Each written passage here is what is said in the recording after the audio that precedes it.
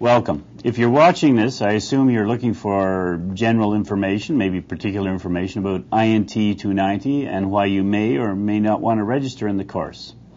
My name is Andrew McAusland, and although I'm a swell person, I don't think I'm the reason you want to register in the course.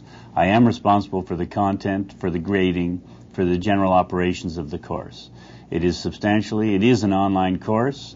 Uh, there is a substantial amount of uh, TAs, you, uh, help you can access, and it's uh, it's very highly assisted, and you know you have a lot of uh, help as you work through the course.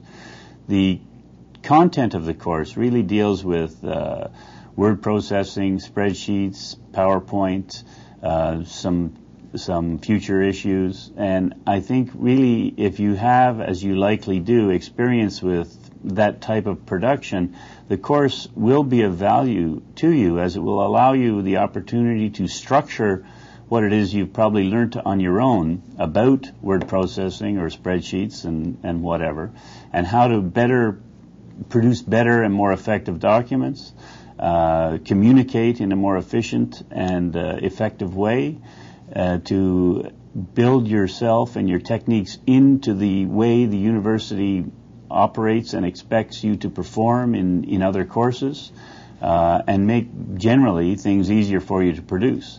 So if you are interested in those things or if you feel that those things would be of service to you, please take a, a deeper look at the course outline, which is available on the course website here. And uh, if you have any further questions, there are some phone numbers there you can phone and get uh, more detailed information.